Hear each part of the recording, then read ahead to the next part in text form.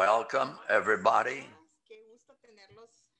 We're very happy to see all of you, and we are several are now arriving, coming in.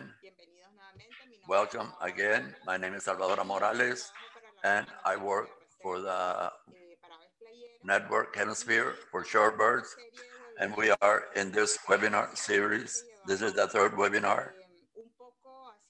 A little bit doing a retrospective. We had our first webinar,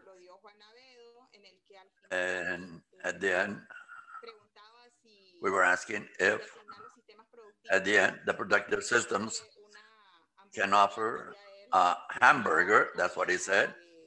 It was a nu nutritious meal or just a fast food. And that is one of the questions. Then in the second webinar, we had the presentation of uh, beyond what we can see, uh, the issue of uh, what we don't see, the pollutants, the potential effects. These two presentations are online and you can see them anytime. And today we are, are happy to have Juanita Fonseca, my colleague, and she will tell us about the experience from Mexico, all the good practices in eh, aquaculture, and if possible, if possible, to have this harmony between the shorebirds and the productive systems like the shrimp farms. And uh, I'm going to introduce Juanita. Juanita is a biologist, a PhD in aquatic resources by the University of Sinaloa. Her interest is in ecology and conservation of shorebirds in different wetlands, uh, considering uh, the use of the water birds of all these areas. And her thesis she evaluated the shrimp farms and their importance for the conservation of shorebirds, studying the availability of food and uh, during the non-reproductive season. Juanita has collaborated and guided different research projects in shrimp farms in the northeastern part of Mexico, where they have identified good management practices for the conservation of shorebirds through this scientific work. The doctor uh, wants to improve the habitat for the shorebirds in these uh, areas. Right now, she's working as a specialist in conservation for the executive office of the WHSRN from Mexico. And uh, she has a scholarship from the University of Cornell. Recently, in addition, she has been included into the National Group of Researchers in Mexico so it's an honor to have Juanita with us today. And I'm going to give her the mic. If you have any questions, you can start writing the questions in the chat. And I'm going to, uh, Juanita, Juanita, welcome. Thank you so much. Thank you, Salvadora. I hope you can hear me. Okay. Okay. And thanks everybody for participating in this series of webinars on shorebirds and productive systems. And before starting, I would like to ask you if you believe that the shorebirds and the shrimp farms can uh, coexist in a friendly way. Some will say, say yes, some will say no, and others, they don't know if it is possible. And this is because of the lack of knowledge that we have on how these systems work and how the birds use these sites. We also need a little bit of participation from different sectors to move forward in specific actions. And we're going to go back to this question a little bit later. During this presentation, I'm going to show you some results of the work of several years of work in shrimp farms in Mexico. And we are going to talk a little bit about the shrimp farms, where they are physically. We're going to talk how they work, their uh, their reproductive, their their productive cycle, and also when the birds use these uh, sites, these shrimp farms, for how long do the birds stay there? What do the birds do in these sites? And some uh, recommendations that can help and uh, help the birds.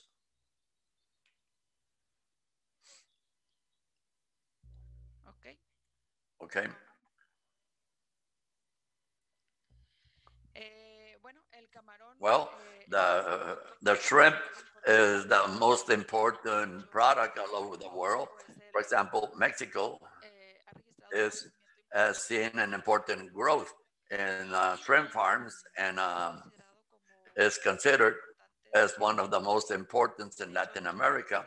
Mexico is the second biggest producer of shrimp in the shrimp farms in Latin America, and at the world level, it has a 17th place. There are three productive systems for shrimp, and in Mexico, the one they use the most is the semi-intensive. The development of these shrimp farms has been can be found in the northeastern part of Mexico, in the states of Sonora, Sinaloa, and Nayarit. In these states, they represent more than 90% of the shrimp production in the country.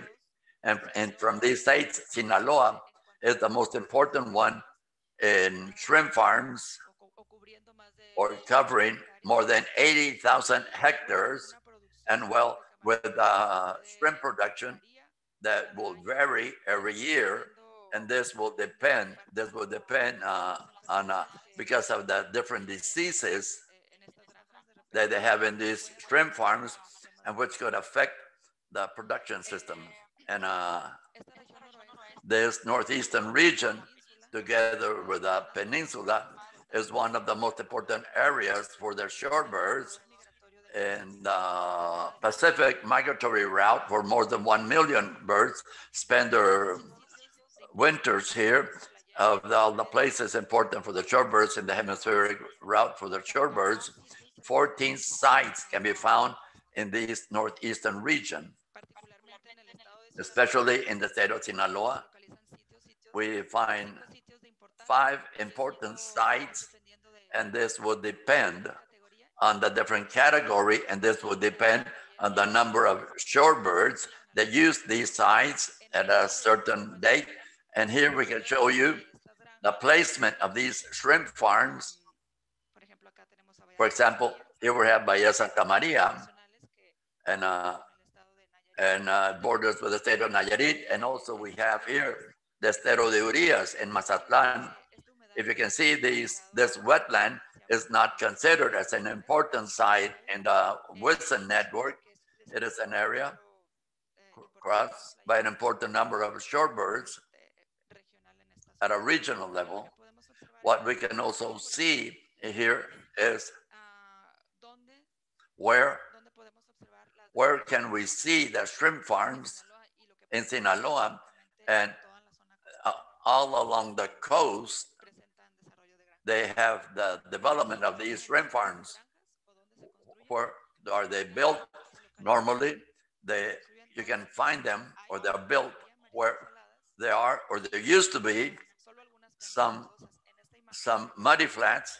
For example, here you see some pictures of the natural area and where now we have shrimp farms. These places were used by some shorebirds as a resting place, but also they can be used by other species also.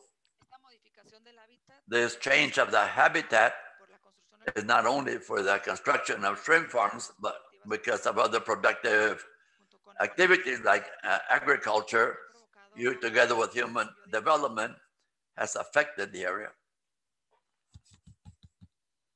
¿Se fue? No te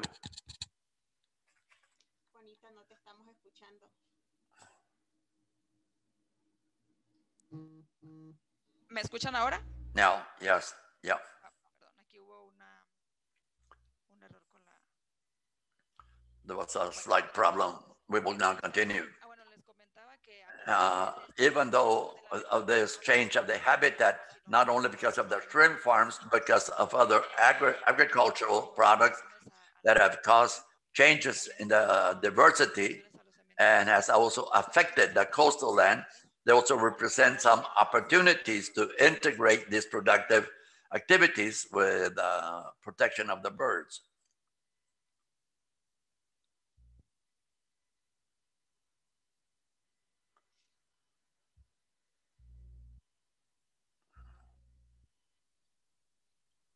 Permítame un momento. Just a minute, please. En esta figura In this chart, we can show you the annual productive cycle of the shrimps. We can start with uh, what will be the healthy drying up of the area, about 40 days to dry it up. and it will consist of blocking the doors so water will not come into these tanks. Then these tanks, water tanks, or uh, we they use some products to disinfect. Once after this period, about uh, March, then they start flooding these areas and planting the larvae for the shrimp during this period.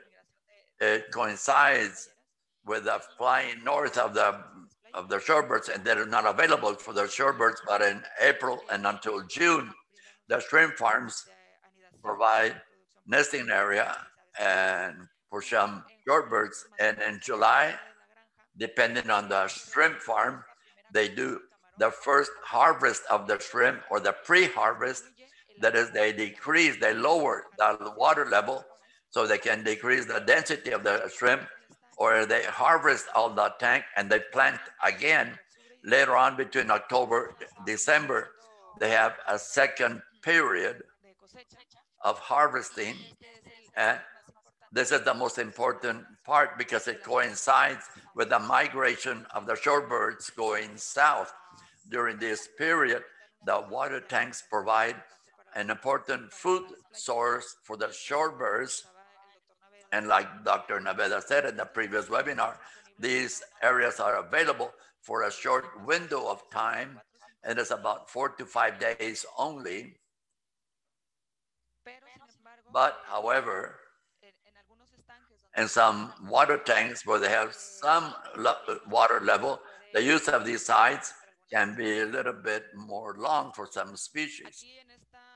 Here in this short video, I will show you uh, recently harvest water tank and how the birds start using this site. Generally, these birds move from the natural areas, from the intertidal to these shrimp farms, and uh, uh, they also move between tanks that have been already harvested.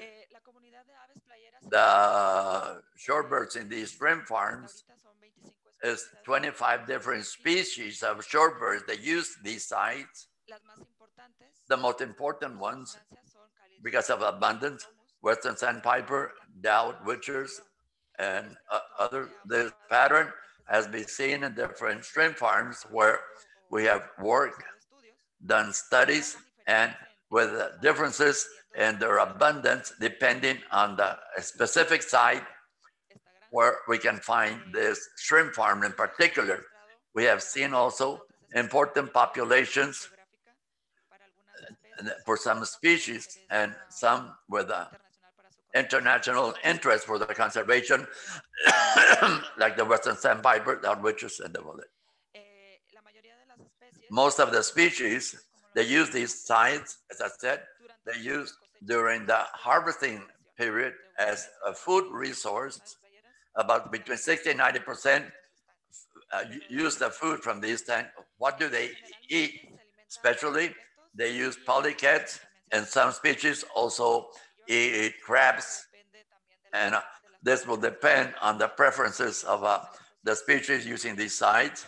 For example, uh, for marble godwit, this represents is the most important prey for their diet and uh, the one that contributes the most biomass and For the marble godwit, the most frequent, the polychaetes and less crabs. But if these are mussels, these provide the greater biomass for these species.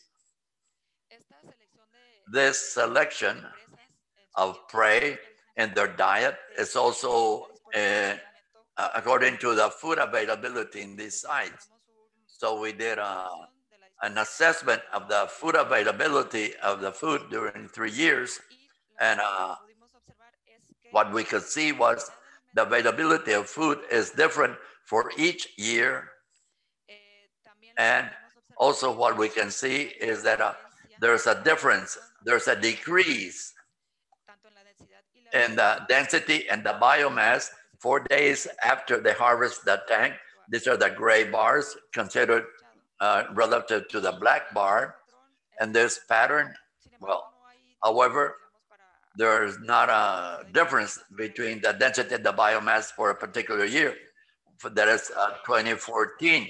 And this could be related to the total length of the harvesting cycle of the shrimp, which has an influence in the growth. We also were interested in assessing if this food availability was due because the tank is drying up or because there's a predation from the birds. So we did an experiment in some tanks where we placed some exclus- excluders that would not let the birds come and feed from this resource and another control lots where the birds could feed. So this experiment was done during the first three days so we could be sure that there would not be any kind of effect of the tank that it was drying up. Also, the experiment we placed about near the canals where the water goes out so that uh, it will always be have moisture.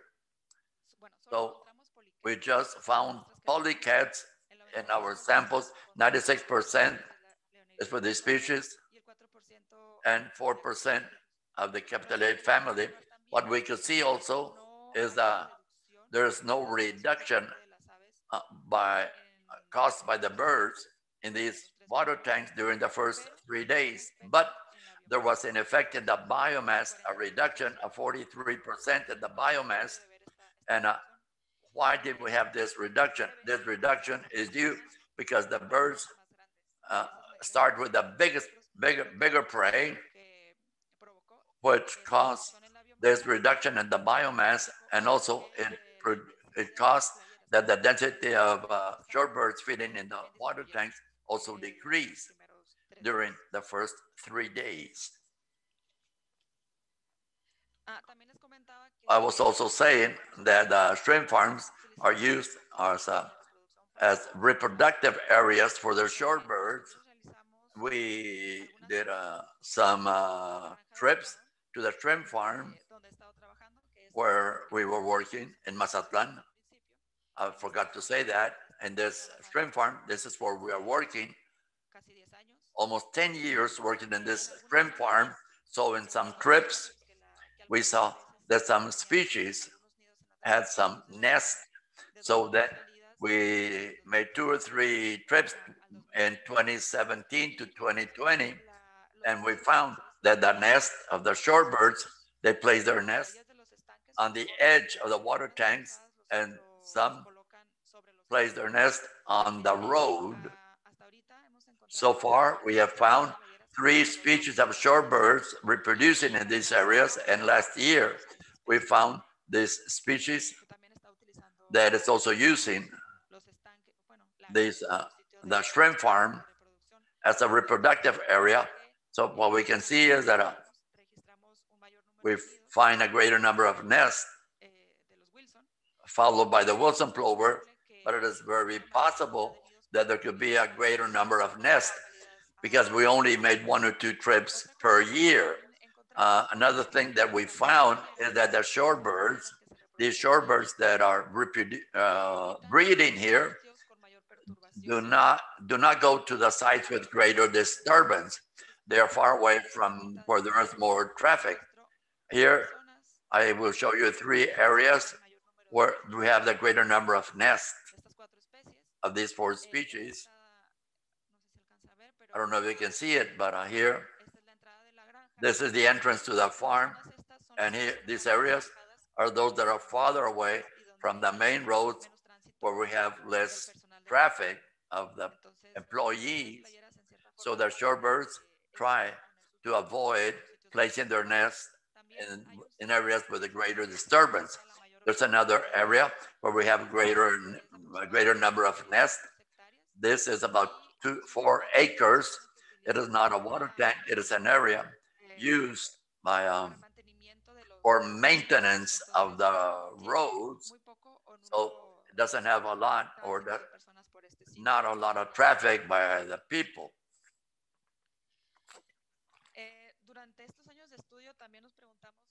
During these years studying, uh, how what are the, the connectivity of the shorebirds to these areas. So, so we captured shorebirds in this shrimp farm using uh, nets.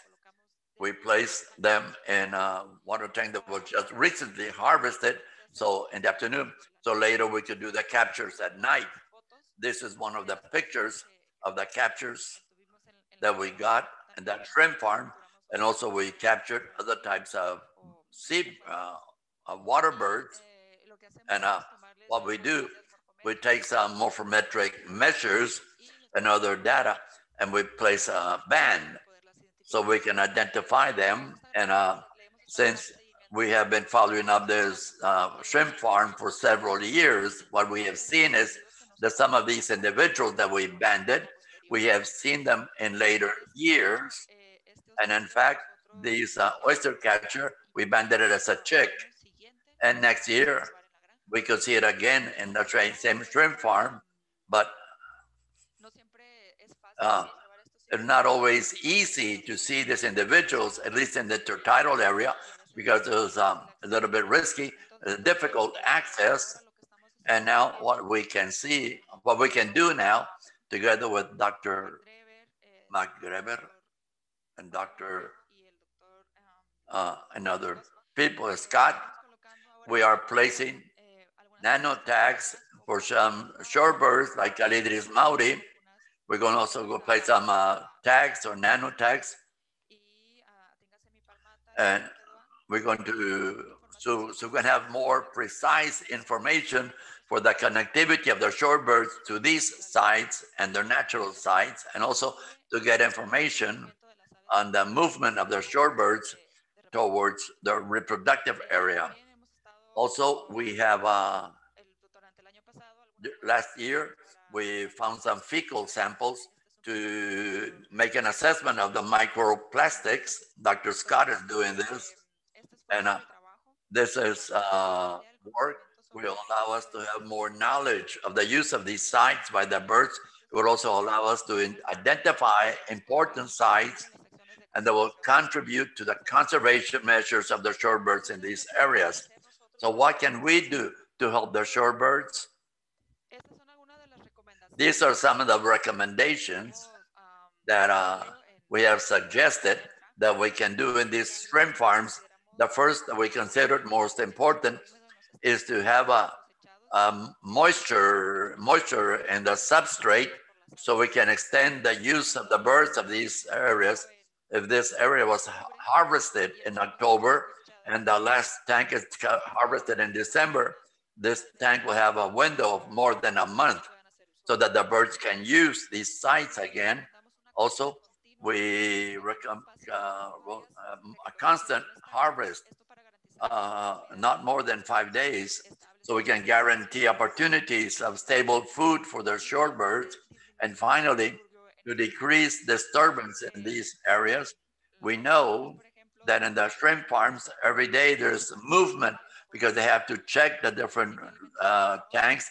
They have to feed the shrimp. But I consider we can identify, like I showed you, some areas which are used by the shorebirds as a nesting area.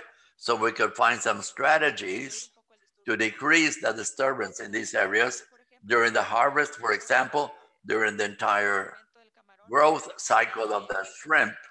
There's a conflict with some uh, water birds that use these sites and uh, also they affect the shorebirds that are using these sites. So we can find some strategies to reduce this disturbance and and as much as possible that we shouldn't have any disturbance. This is possible to do within the practice of the semi-intensive uh, shrimp farm without affecting the productive cycle and also considering the needs of the shrimp producers. In 2020, we did uh, some visits so uh, shrimp farm in uh, Ensenada and Pabellones to talk about some good practices. We had some meetings with the people in charge of these shrimp farms and the workers. We told them about, about what we were doing, how the birds use these areas, and the steps they can do to help the birds. And they were very participated and very willing to apply these steps some shrimp farms, what we consider most important is that uh, when feeding the shrimp, some shrimp farms are already doing it. And uh, when they harvest the shrimp, they leave the door open and that would allow to have it available for a lot more longer time. And the results of this work are still in process. We are analyzing all this data. But with this assessment, what we're going to do the next step, and thanks to the project of the people is to implement these uh, management practices in Ensenada and Pabellones, and also to try to apply this management system to other shrimp farms in the area. These management uh, practices are economical and they are compatible with the activities of the shrimp producers. And also, these management practices, there are more shrimp practices, like uh, David said in the previous webinar. However, we still need a lot more work, a lot more study to assess these um, practices and have a good assessment in the future for the shrimp farms in Mexico which, which, our, which are our goals to promote different practices to help the shorebirds. And also we want to promote the interest of the aquaculture industry for conservation and also to build alliances between the uh, shrimp farms, the government, uh, to reach agreements to apply all this. And finally, it is important we to the conservation of shorebirds it is possible. Also, if we are all in, in a consensus and if the shrimp farmers can have a benefit also regarding these conservation strategies. It is to promote a certificate uh, program to improve the habitat and will be beneficial economically. And this last point we're working about, we're working on this with Salvadora and other people to try to integrate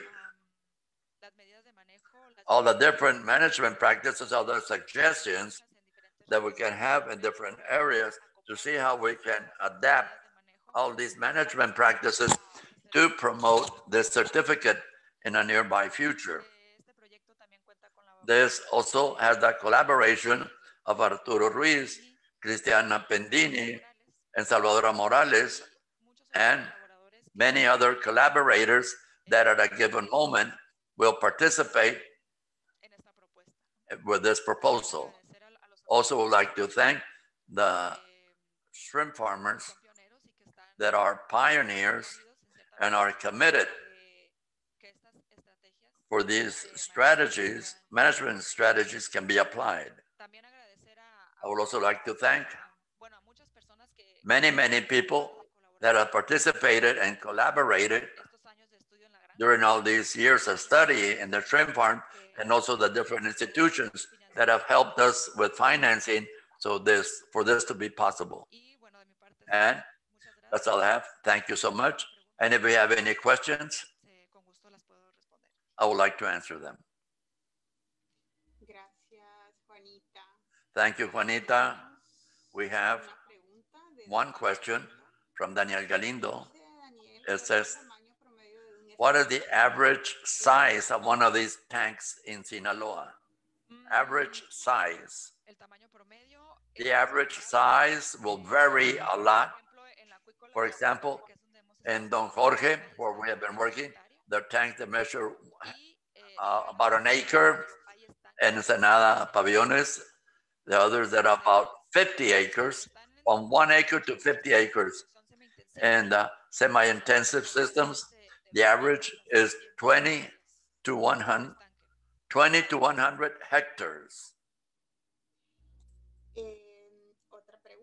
Another question, the next word, Eduardo. Gracias por la presentación. Thank you for the presentation. Is there a certificate process like agricultures que considere manejo para la that considers the management for the conservation of shorebirds in Mexico? That is, es una parte, y bueno, That Salvador, well, Salvadora, you might answer. eh, no, no están contempladas en ningún They're not contemplated in any certificate program. We have not considered their shorebirds. tiene un poco más de It has a little bit more uh, work to do on the environment and other strategies, and their shorebirds are not included. But what we are trying to do is to include their shorebirds in that certificate program. It is important also to understand that the market of the certificate is from Europe or also in the case of Mexico, the production is more local. Hay un porcentaje muy pequeño There's a very small percentage that is exported and they're going into that process of being certified. Yes, We have some shrimps that are certified in Sonora and in Sinaloa. eh, no están, bueno, no They are not. ninguna que esté I don't know anyone that is certified in Sinaloa, but uh, gobierno, bueno, mucho de all the shrimp, a lot of the shrimp from those shrimp farms se llevan a una are taken to uh, a farming out. They, they're frozen and then exported a little bit for, for local consumption. Que, que tenga algún, But, uh, algún tipo de, de certificación. They should be certified. Por Julián García. ¿Crees que la recepción de Do you think that the reception of these recommendations will be accepted by the great shrimp farms? What difficulties do you expect to find with the big shrimp farmers? The difficulties I've seen in uh, doing uh, studies in small shrimp farms, what we found is that are practically the same. Maybe the problem here is that there are many, many farms, many, many shrimp farmers.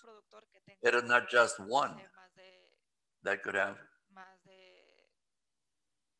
10,000 granjas, por ejemplo. More than 10,000 shrimp farms or 10,000 hectares. So um, then pues estamos trabajando en ello. we are working on it. a esperar que, que, We are working on it.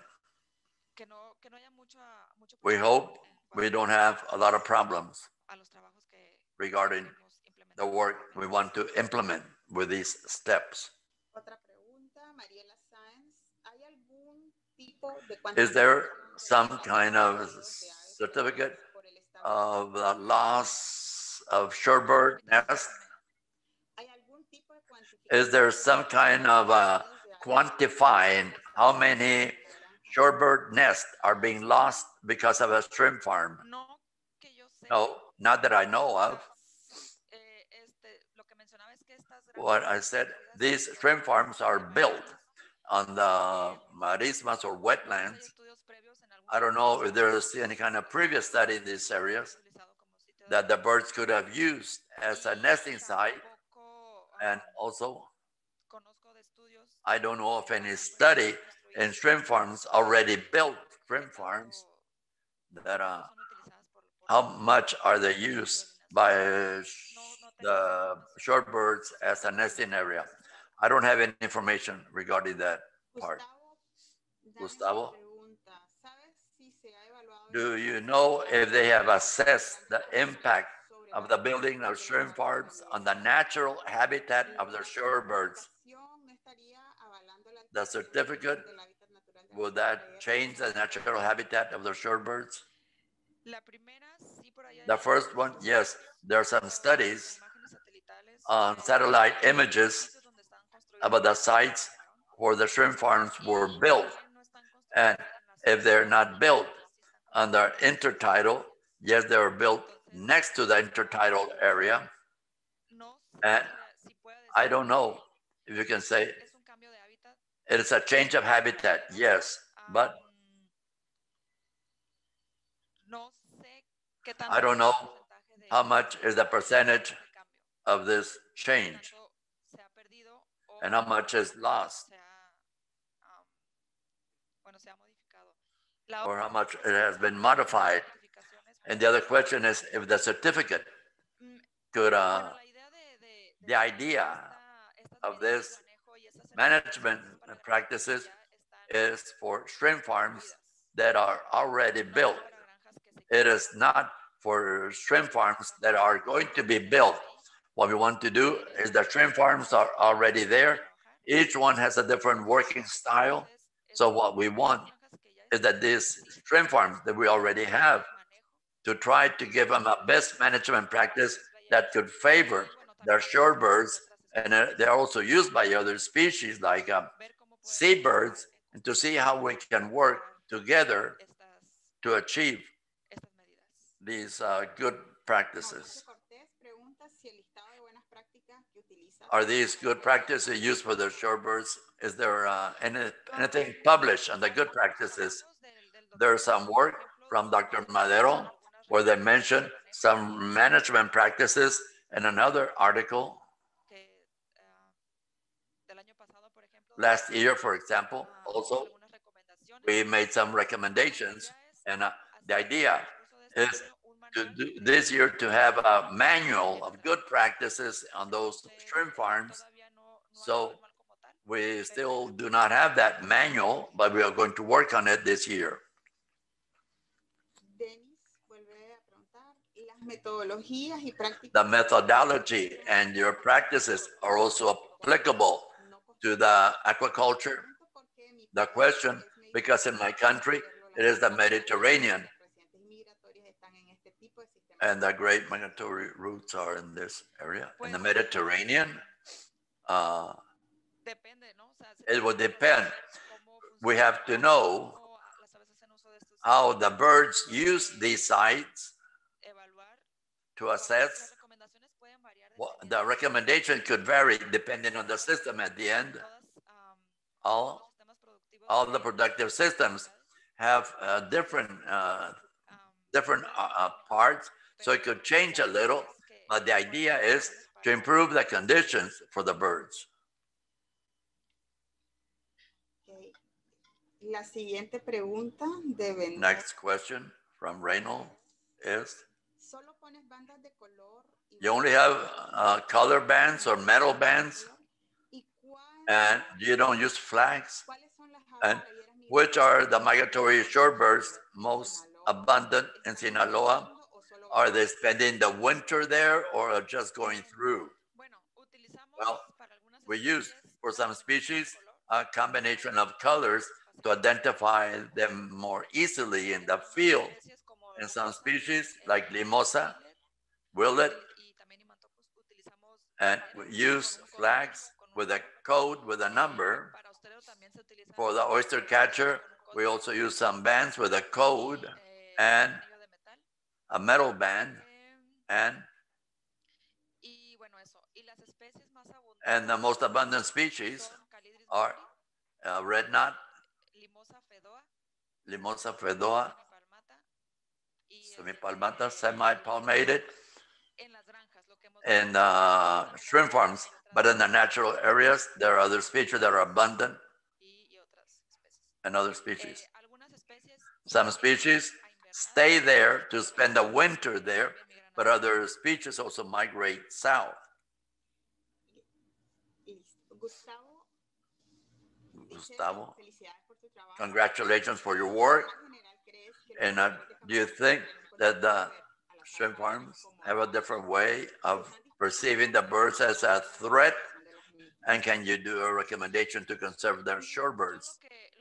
What I have seen is that they consider all the birds as a threat. But When you approach them and you explain, these are the shorebirds, they use the water tanks. When there's no more shrimp, after you harvest the shrimp, so uh, they change a little bit their perception. They say that they have a loss during the growth of the shrimp but through the cormorants or other seabirds, but in part, they understand that the shorebirds do not affect their productive cycle. Yo creo So, que sí, que- I believe, alguna- al menos yes, los que hemos platicado, At least with the people we have talked, they understand the project and how we can move forward. estrategia, yo creo que with these strategies. Yes, there is a, buena oportunidad de a good opportunity to integrate these recommendations. Erika Reyes pregunta si Erika has Reyes, logrado Have you been able las baloneras mantengan that in those shrimp farms, los estanques después uh, keep the water level moist Mm, more days and for how many days? Okay, eso lo estuvimos evaluando en la we have been assessing that during the harvest season last year. And uh, lo que podemos what we can see is that uh, some shrimp farms, aprovechan el estanque once they harvest, abierta, por ejemplo. they leave the door open so the water can come in. La dejan abierta hasta They leave it open otra vez el until they start the health cycle again. So uh, it can be available for two months. But- In some cases, if they leave the doors open, it will not benefit the birds so much because the amount of water coming in is a lot.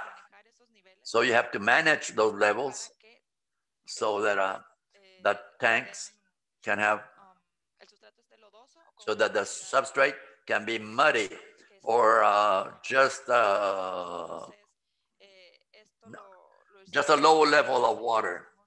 So we are working with them and we are just evaluating the, uh, the results. River,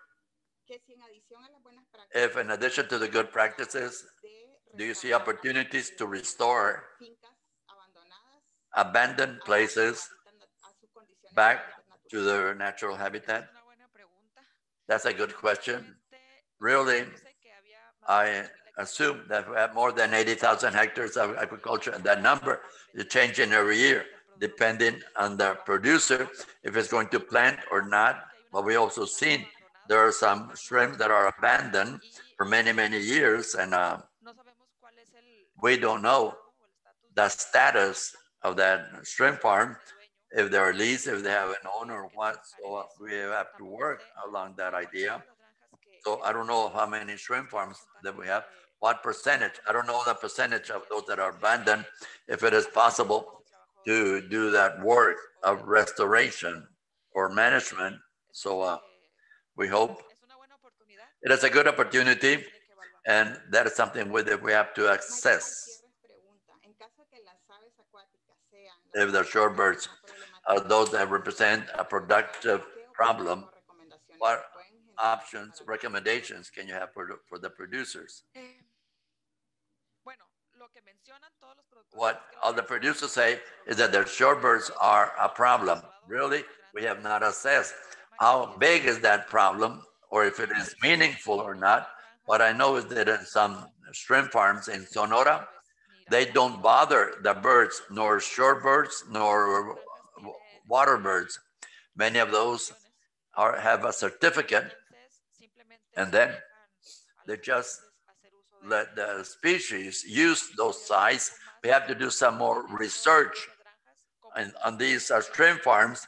What measures do they use to mitigate that these shorebirds are using these tanks? And uh, with this to see what we can use in Sinaloa to mitigate the disturbances for these birds. It is not that we don't care. We are focused on shorebirds, but I believe that, uh, that those strategies can also be extended for other species. and, uh, Just, we have to find how. Thank you, Juanita. I think we have answered all the questions they asked us. There were several, really. Así que si no hay más preguntas, ha sido realmente There are no more questions. Has been very interesting Uno de los elementos to know one of the elements, interesting elements and different elements uh, is that from Golfo de Fonseca, is that in Golfo de Fonseca, it is almost like a constant harvesting. They don't stop in winter and uh, they continue producing and uh, y luego y eso da eh, eh, you stop in Mexico, but not in Golfo de Fonseca.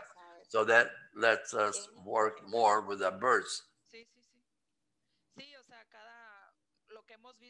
What we have seen in this webinar is that each country tiene sus, sus has uh, its differences.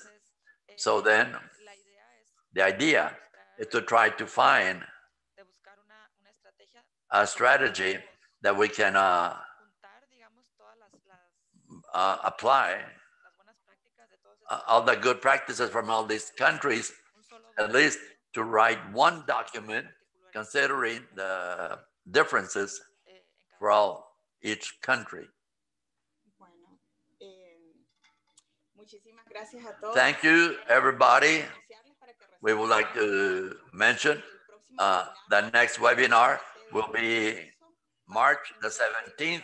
It will be a Wednesday, just like today, and we're going to have one of the producers. It will be telling us a little bit from his perspective, uh, the production. It will be from Honduras, one of the first shrimp farms installed in Central America. and we're going to send him- Send you the details of the presentation, and will be approximately at the same time. Thanks, everybody. I think we have another question. If there are no tanks that are harvested, where do the birds go? What we have seen is when they are not, when the tanks are not harvested, las aves no no the birds do not use that shrimp farm. They use it as an optional site for food. We haven't seen many individuals of many species resting in these areas. So we don't know where they go when the shrimp farm are not available. When the intertidal area is not available, they move to these places, but if they're not available, then that is part of the work that we have, of the questions we have to answer with the use of the nanotags. There's a, we have a link here for the, when, where you can find more information. It is focused on Gulf of Fonseca in Central America, but ahí pueden encontrar mucho más información. you can find a lot more information. Creo que hemos llegado al final. I think we have reached the end. We would like to thank everybody for participating. We have congratulations to Juanita y felicitaciones a todo el uh, and to all the entire team. Thanks everybody for participating and being with us. And we will see you at the next webinar. Thank you so much. Gracias. gracias Thank you. Bye. Gracias por la Goodbye. And that's next session. Bye. Gustavo.